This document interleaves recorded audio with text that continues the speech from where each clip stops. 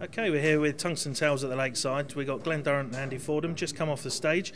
Um, Glen, first of all, congratulations on the result. How do you feel about that overall performance?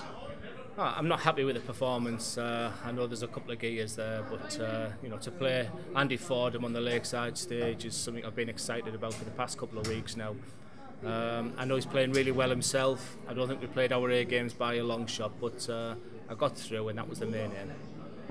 And Andy, obviously, in as a wild card, couldn't have asked for a tougher draw as far as seedings is concerned. Um, but how does it feel to get back up there on that lakeside stage you love so much? Oh, it was. I mean, to get up there was just a. I mean, a great feeling. I'm just um, gutted I didn't play as well as I've been playing. I mean, I very inconsistent. Like I said to Glen, no disrespect to him, it wasn't his best performance, so there was a, a game for him to be taken. It was then, but uh, I didn't do it. He hit the doubles in the end. So, I mean, good luck to him in the, in the next round. That's right. So you'll be back for round two tomorrow, Glen. Um, how do you feel about the week? Are you ready to put this alongside the World Masters trophy you won last year?